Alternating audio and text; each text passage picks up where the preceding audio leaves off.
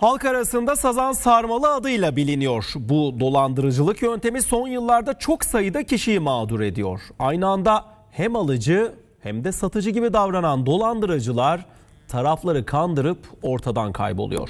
Ayrıntıları TRT Haber muhabiri Ferhat Öz- Özkaner ve kameraman Mustafa Tuncal'ın özel haberinde izleyelim.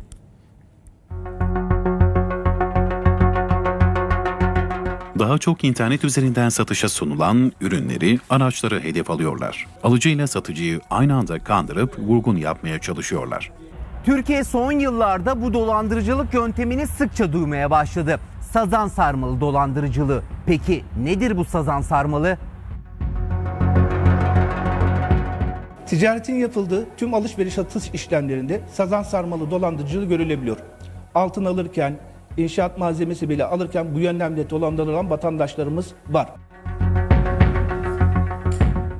Sazan sarmalında dolandırıcı satıcıya kendisini alıcı gibi, alıcıya ise satıcı gibi tanıtır. Ortada alınan ve satılan bir araç vardır. Ancak dolandırıcı öyle ikna edici konuşur ki iki taraf da bu durumdan şüphelenmez.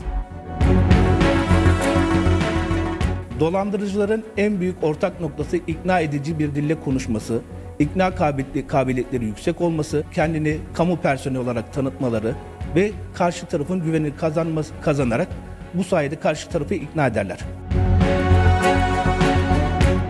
Gerçek ortaya çıktığında iş işten geçmiş oluyor. Birbirini suçlayan taraflar emniyete başvuruyor. Sazan sarmalı dolandırıcılığına yakalanmamak için emniyet uyarıyor. Güvenilir platformları kullansın vatandaşlarımız. İlan detaylarını incelesinler. Ön ödeme yapmaktan kaçınmaları lazım. Belgelerini, araç belgeleri özellikle önemli.